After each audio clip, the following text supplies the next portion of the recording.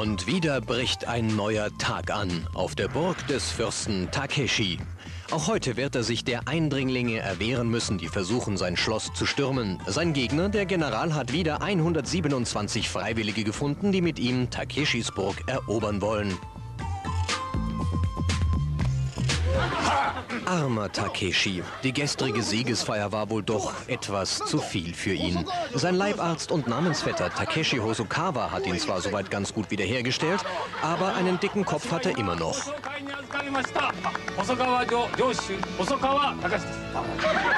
Der Doktor rät in Zukunft zur Mäßigkeit und der Fürst gelobt Besserung.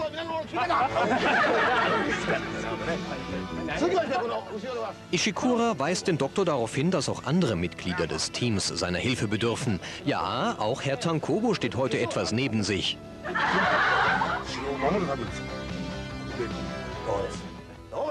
Diese Symptome kommen dem Fürsten sehr bekannt vor. Doch Dr. Hosokawas Spezialmischung Lebertran mit Vanillesoße wird auch Herrn Takobo wieder auf die Beine bringen. Ritter Chu ist wie immer der Fels in der Sake-Brandung. Ein echter Samurai wie er trinkt grundsätzlich nur klares Quellwasser. Und auch Herr Ishikura, der fürstliche Ratgeber und Trainer der Abwehrmannschaft, ist erstaunlich munter.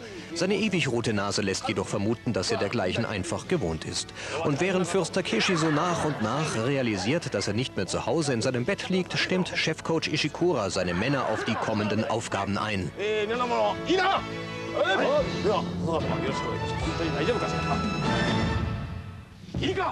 Auch der General, heute in schwarzer Uniform, ist ein Meister subtiler Motivationskunst. Sein Motto?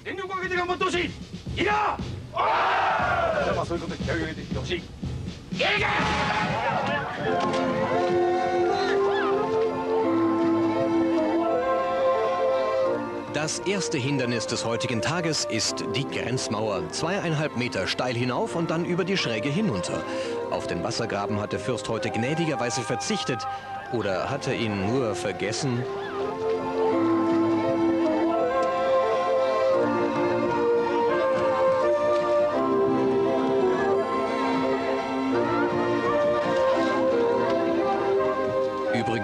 Schwarze Uniform des Generals hat, wie vieles in Japan, eine tiefe symbolische Bedeutung. Sie stimmt auf die drohende Niederlage ein und ist ein äußeres Zeichen tiefster Verzweiflung. Außerdem sieht man den Dreck nicht so.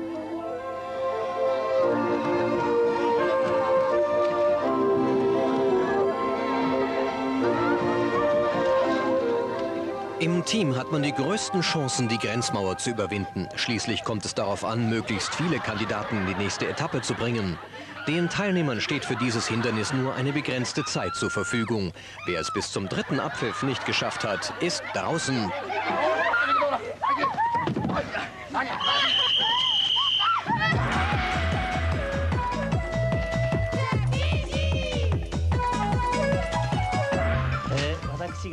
Senil Leishi Labermoto, der fürstliche Geschichtenerzähler und amtierende japanische Seniorenmeister im Outdoor Memory, begrüßt die restlichen 111 Kandidaten bei der zweiten Etappe.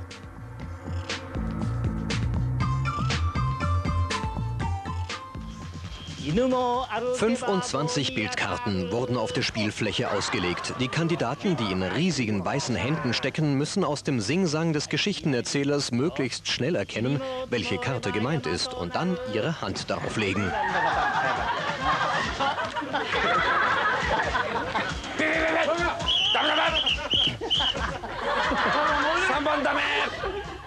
Nur derjenige, der unmittelbar auf der richtigen Karte liegt, kommt weiter. Wer sich auf eine falsche Karte wirft, scheidet aus.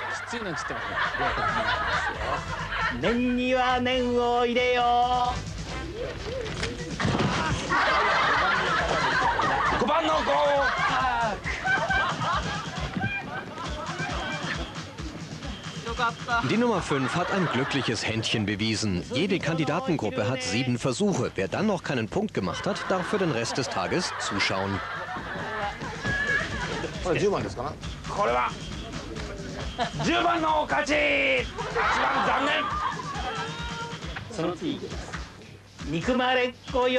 Hier kommt es vor allem auf ein gutes Gedächtnis und eine blitzschnelle Reaktion an. Die weißen Hände sind bis zur Fingerspitze 2,60 Meter hoch und wiegen etwa 30 Kilo.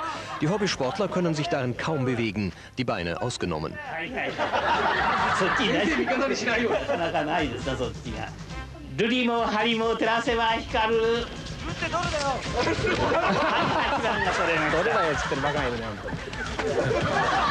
Das ist natürlich nicht nur unsportlich, sondern auch verboten. Wer versucht, einen Mitkandidaten von der Karte zu schieben, wird sofort disqualifiziert.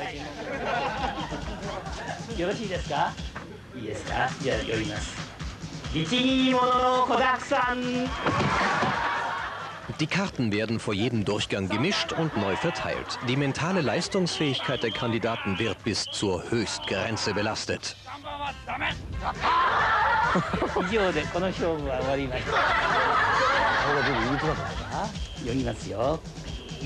Eine neue Gruppe geht an den Start.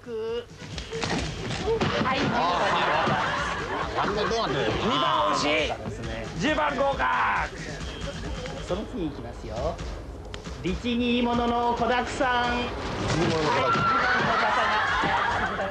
la la, eine schwierige Entscheidung für die Schiedsrichter.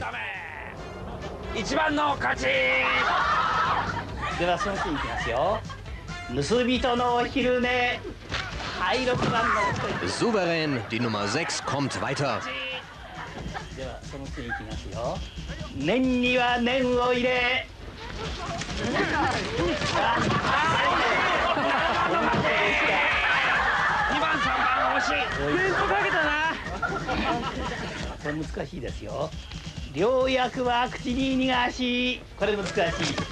Diesmal hat es Senileshi den Kandidaten richtig schwer gemacht. Das wäre die richtige Karte, doch die Nummer 9 gerät unglücklich in Rücklage.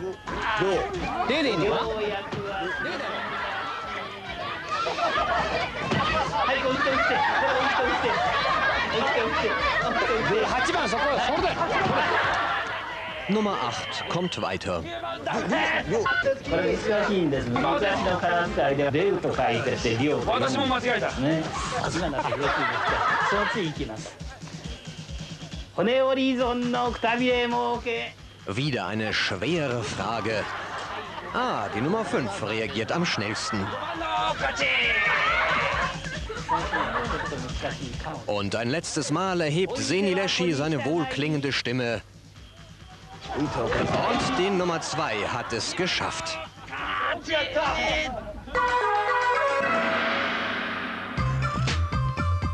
Für 33 Kandidaten war hier die Endstation. Takeshi ist einigermaßen zufrieden. Er weiß zwar immer noch nicht, worum es in dem Spiel mit den riesigen Händen überhaupt geht, aber über 30 Kandidaten sind ausgeschieden und das ist ihm das Wichtigste. Berater Ishikura und Dr. Hosokawa versuchen noch einmal alles, um dem Fürsten das Spiel näher zu bringen, ihn von der subtilen Komik und dem naiven Charme zu überzeugen. Doch Takeshi weiß nur eines. Kein Kandidat ist nass oder wenigstens schmutzig geworden, also gefällt ihm dieses Spiel nicht.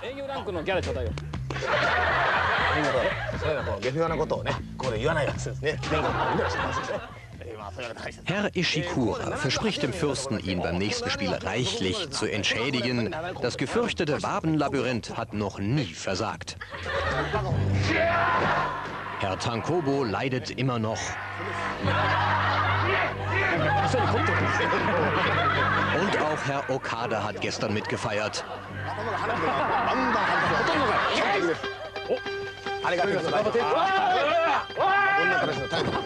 Das Wabenlabyrinth. Durch diese zwölf sechseckigen Kammern müssen die Kandidaten ihren Weg finden. Nur eine der 30 Türen führt ins nächste Level.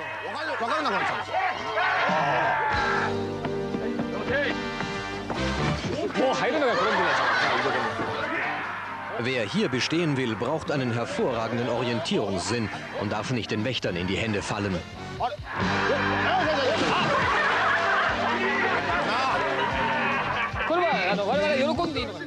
hervorragend motiviert.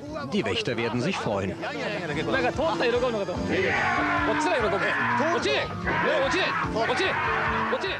Bekommen die Verteidiger einen Sportler zu fassen, wird sein Gesicht schwarz gefärbt und der Kandidat scheidet aus.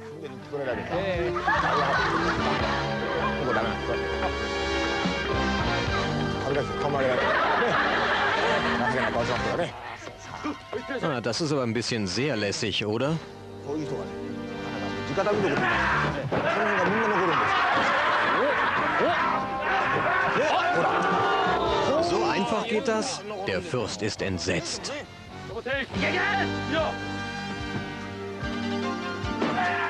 Oncic und Masanori sind wahrlich furchteinflößende Gegner. Nass oder schwarz? Eine dritte Möglichkeit bleibt den Kandidaten kaum.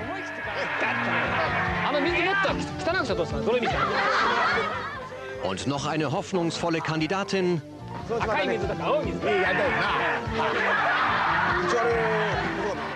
Findet den Weg ins Wasser.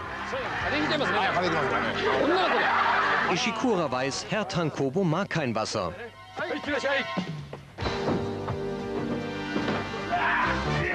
Oh, na, also ob das gilt?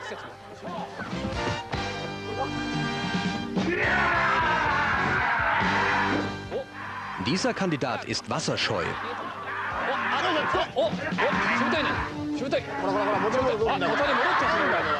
Und noch einmal hinein.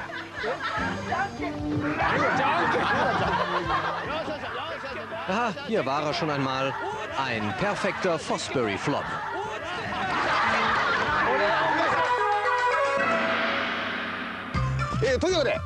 Und wieder müssen 15 hoffnungsvolle Hobbysportler das restliche Geschehen als Zuschauer verfolgen.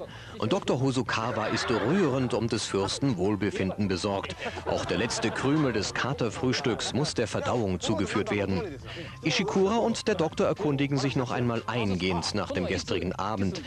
Was um Himmels Willen hat Takeshi nur getrunken? 現にこうやってやってたんだからこういうことだった Ah, ja, ein Fässchen hiervon, ein Eimerchen davon und zu essen gab's nur die Oliven im Martini. Kein Wunder, dass Takeshi heute Morgen diesen fürchterlichen Katzenjammer hatte. Aber selbst ein Kater bringt den Fürsten noch auf interessante Ideen. Bei diesem Spiel treten jeweils zehn Kandidaten gleichzeitig an. In ihren unförmigen Katzenkugeln stehen sie am Fuß eines kleinen Hügels. Oben auf dem Hügel steht der Katzenwärter des Fürsten.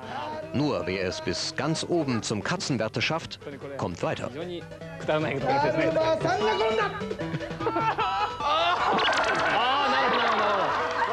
Die Kandidaten dürfen sich nur bewegen, wenn der Wärter sein Sprüchlein aufsagt und sein Gesicht von ihnen abwendet. Dreht er sich zu ihnen um, darf sich nichts und niemand bewegen.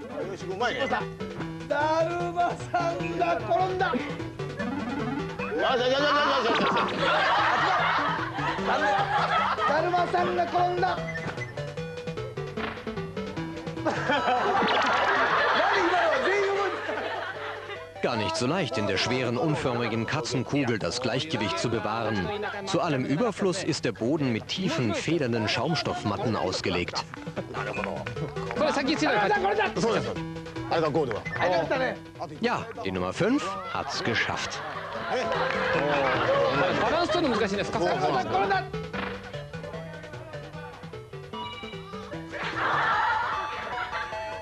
はいおい だるまさんが転んだだるまさんが転んだだるまさん転んだやりました Auch die Nummern 7, 6 und 9 kommen weiter. Für die Nummer 10 hingegen ist das Rennen gelaufen. Denn auch der letzte jeder Gruppe scheidet aus.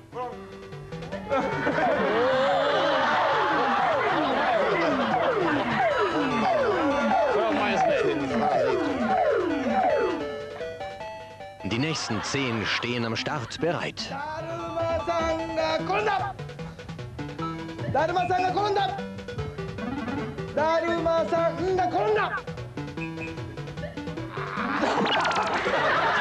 Die Kugeln müssen da liegen bleiben, wo sie hingefallen sind. Sie dürfen nicht aus dem Weg geräumt werden.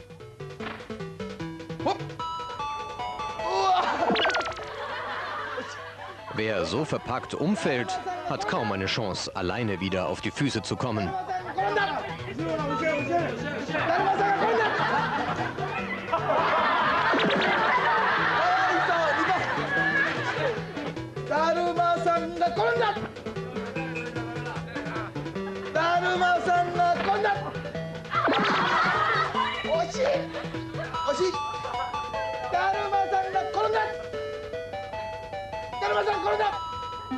よしよしよしよしよしよしだるまさんが転んだだるまさん転んだだるまさん転んだだるまさん転んだ Die letzten fünf Kandidaten sind nicht zu Fall zu bringen. 当たった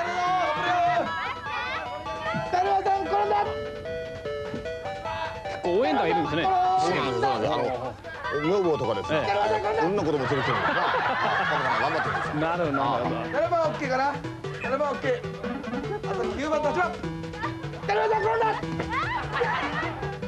9番ケー。Und der letzte muss wie immer wieder hinunter. Oh, 自分止められませんからね。哭了来 Ein bisschen auflockernde Gymnastik am Nachmittag, das bringt den Sauerstoff zurück ins Gehirn und entspannt die Nackenmuskulatur. Beides hat Takeshi bitter nötig. Noch immer macht er einen eher bedauernswerten Eindruck. Doch das nächste Spiel war noch immer geeignet, die fürstliche Laune nachhaltig zu verbessern. Zumal der einzige Kämpfer des Fürsten, der heute in Normalform antritt, jetzt zu seinem ersten Einsatz kommt.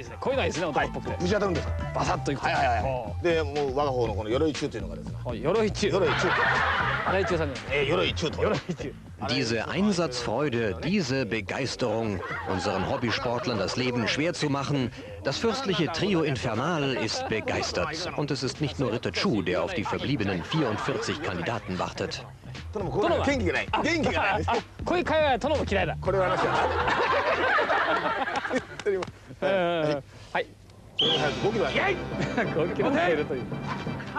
Mit Volldampf hinein ins Vergnügen. Vier Mauern stehen hintereinander im Abstand von jeweils 10 Metern. In jeder Mauer befinden sich vier Tore. Diese bestehen entweder aus Papier oder aus einer massiven Holzplatte.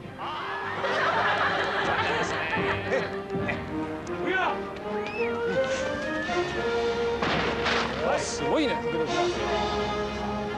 selber schreiben. Ja, Hinter der zweiten Mauer lauert Ritter Chu. Man muss viermal Glück haben. Ja, ja, das macht Freude. Das gefällt immer wieder.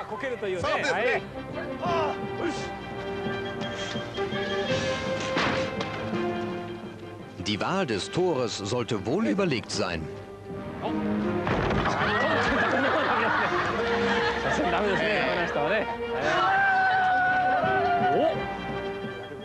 Einmal, zweimal und dreimal. Nein, nicht immer bringt die Papiertüre die Kandidaten weiter.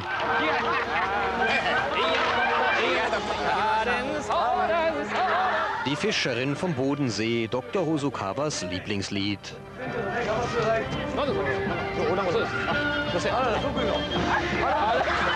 Mit dem Schwung wäre sie sogar an einer Papiertüre gescheitert.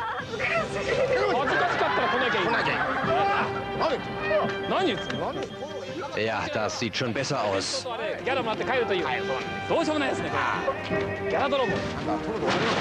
Naja, immer Kopf voraus, wenn das mal gut geht.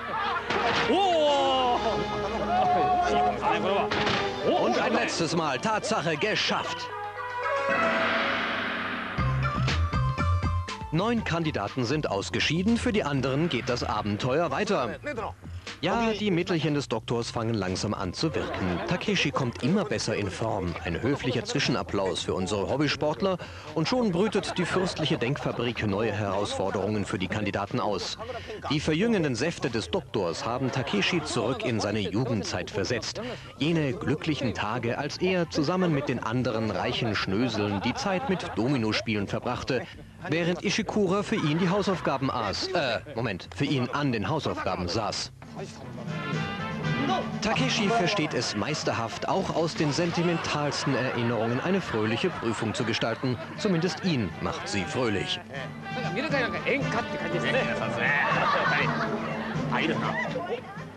Fünfzehn goldene Blöcke bilden den wackeligen Pfad, der in die nächste Etappe führt.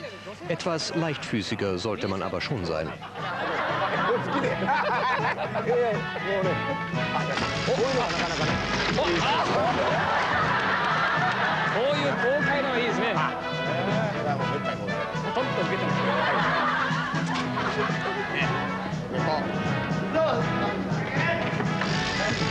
このテンポじゃダメですね。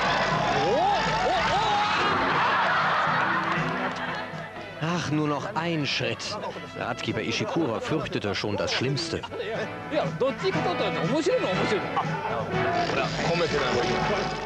Tritt sicher wie eine Bergziege. Nur so kommt man ans Ziel.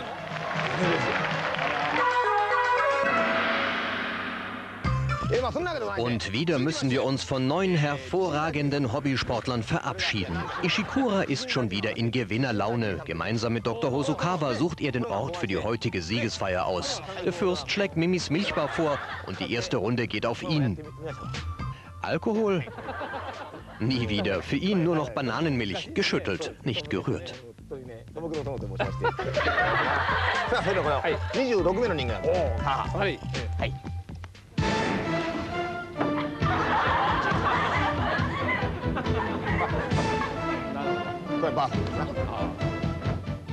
Geschüttelt, nicht gerührt werden auch unsere Hobbysportler im nächsten Spiel. Jeweils fünf Kandidaten nehmen kniend auf einem Kissenstapel Platz.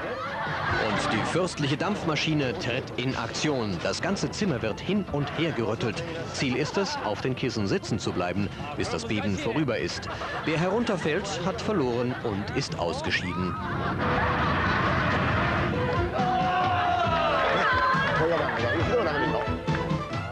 Wie bitte? Nur einer? Da muss also stärker geschüttelt werden. Und die nächsten fünf nehmen Platz.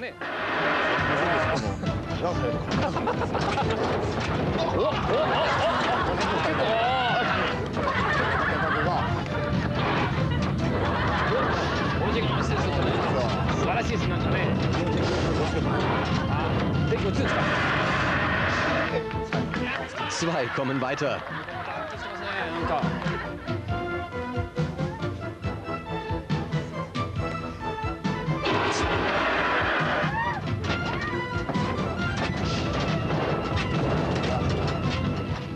Immer schön im Rhythmus bleiben.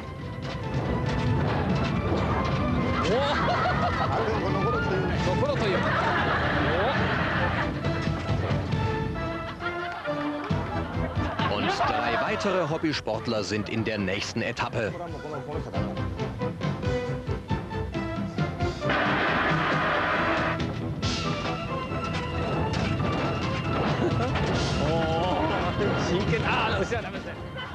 Ein Spiel, das äußerste Konzentration erfordert.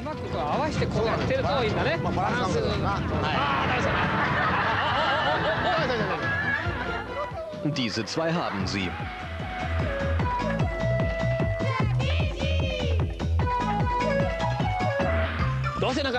Dr. Hosokawa ist begeistert. So eine Rumpelkammer hätte er auch gerne. Für alle Patienten, die an einer laxen Zahlungsmoral leiden, sicher die beste Medizin. Ishikura kann das bestätigen. Schließlich hat der Fürst ihn dort auch schon einquartiert. Damals, als er Grund hatte, mit dem Diensteifer des Ratgebers unzufrieden zu sein. Doch nach kaum drei Wochen in der Rumpelkammer war Ishikura von aller Renitenz geheilt und ist seitdem der treue und zuverlässige Diener, als den wir ihn alle kennen. Das nächste Spiel war ebenfalls eine Ishikura-Idee und die letzten 17 Kandidaten werden ihre Freude daran haben.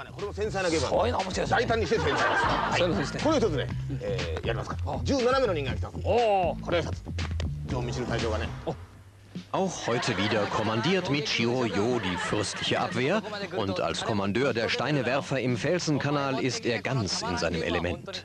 Er verspricht allen Kandidaten eine fröhliche Steinzeit.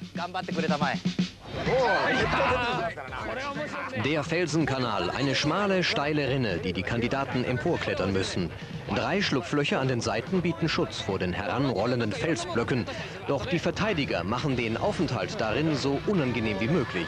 Wer festgeklemmt oder von den Felsen überrollt wird, scheidet aus.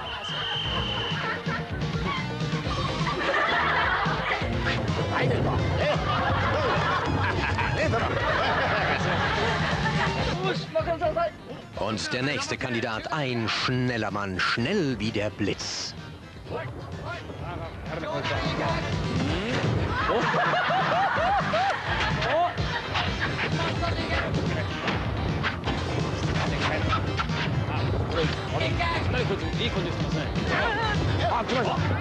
Ja, er hat's geschafft. Und mit Recht. 普段農作業やってるやつは特にねああなるほどねししの情報おっ止っちゃったあ Naja, das eine gute Idee ist. Eher nicht. Natürlich sind die Felsbrocken nicht aus echtem Stein. Sie bestehen aus einem besonders leichten Hartschaum, der den Spielern nicht wehtun kann. Trotzdem ist es ein eigenartiges Gefühl, wenn die zwei Meter hohen Riesenkugeln angerollt kommen.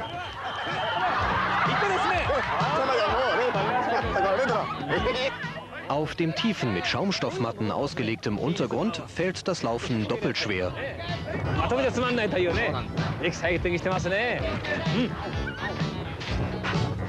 どうしたらいいんだよどう避けなさいよ避け避けなさいよ避けなさいよおなかなかうまいね Perfektes Timing. シフは最近しっかりしてますからねはいおお段々まであれこれはかなり来ましたですねこれやられましたですねこれしっかりあこれは上がりますねこれはこれいかれましたですね Ja, etwas Glück gehört natürlich auch dazu. Herzlichen Glückwunsch.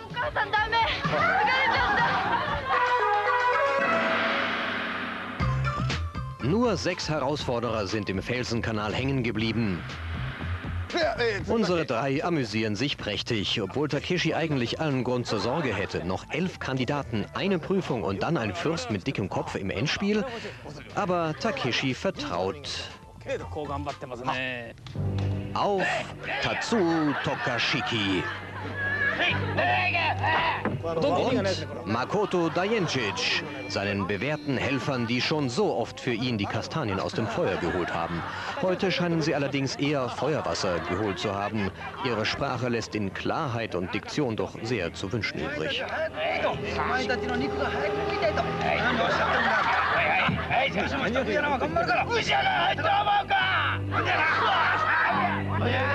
aber frisch gelallt ist halb gewonnen. Furchtlos schwanken die beiden in ihre Löcher.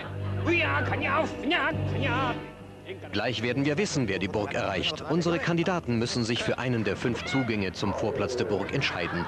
Ritter Chu versucht noch ein letztes Mal, die Kandidaten zu verwirren.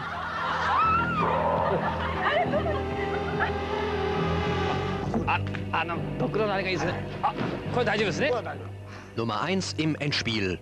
意外とこういうのがすっげえ入っちゃうんじゃないのほらほらほらほらおおあ Und auch der zweite Kandidat ist weiter. これであーよしよしよしよしよしよしよし Wie, kein Feuerwasser dabei? Da wird aber Tokashiki sauer. 中何やってんすかうわー中でこのバチバチ閉めてるんですか変わってるんですかいや下だって男にさて帰る ja, dieser hier ist am Ziel.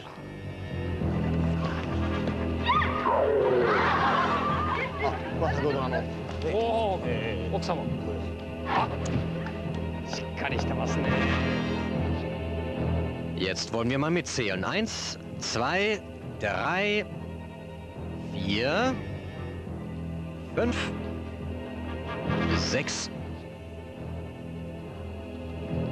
sieben, acht,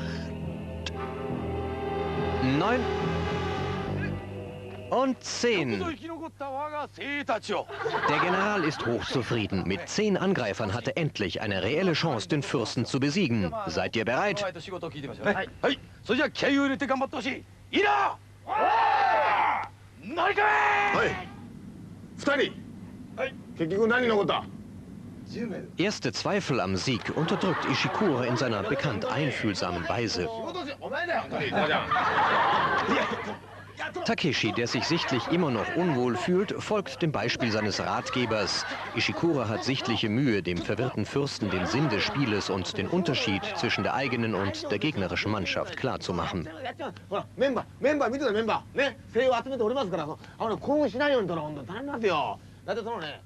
Dieser Schatten eines Skizze eines Takeshi soll in der Lage sein, sein Schloss zu verteidigen. Na, wenigstens er ist zuversichtlich. Ishikura hat heute mit dem Fürsten die Rollen getauscht. In diesem Zustand darf Takeshi natürlich nicht an Steuer. Der Ratgeber erklärt's nochmal. Ich fahren, du schießen und los geht's.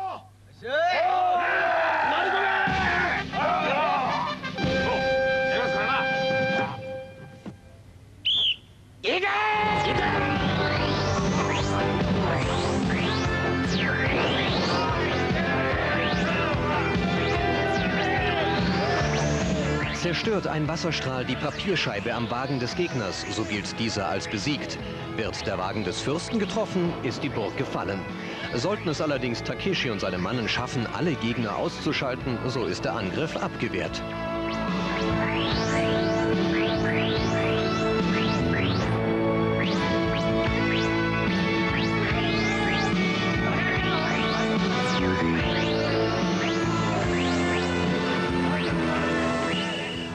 Ist es tatsächlich passiert, auch wenn es der Fürst nicht wahrhaben will, er ist geschlagen.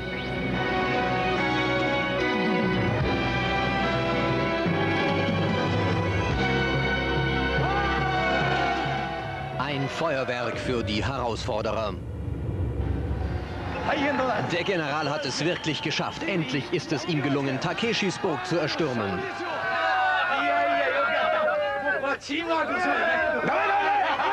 Ishikura fordert etwas mehr Respekt vor dem Fürsten.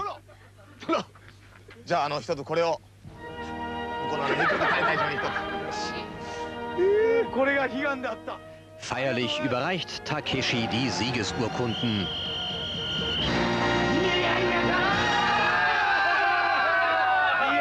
Das war der entscheidende Moment. Und auch wenn der Fürst heute nicht ganz auf der Höhe war, schmälert das keineswegs die Leistung der Herausforderer. Der General weiß genau, wem er diesen Erfolg zu verdanken hat. Und Takeshi ist untröstlich. Aber eines ist sicher, heute wird der Fürst nicht wieder bis in die Morgenstunden feiern. Nein, heute wird er seinen Kummer ertränken. Der wortgewandte Ishikura hingegen hat das Ergebnis schon verdaut. Schließlich sei man ja zweiter Sieger geworden und der General mit seinen Leuten vorletzter. Meister. Und schon morgen werden sie in neuer Frische bereitstehen, um die Festung zu verbessern, die Verteidigung zu stärken und den General zu blamieren.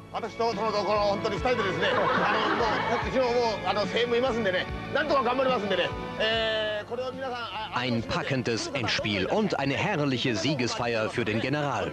Für Takeshi und Ishikura bleibt nur noch ein halbwegs würdevoller Abgang. Bis zum nächsten Mal bei einem weiteren Sturm auf die Burg des Fürsten Takeshi. どうぞこちらの方へ。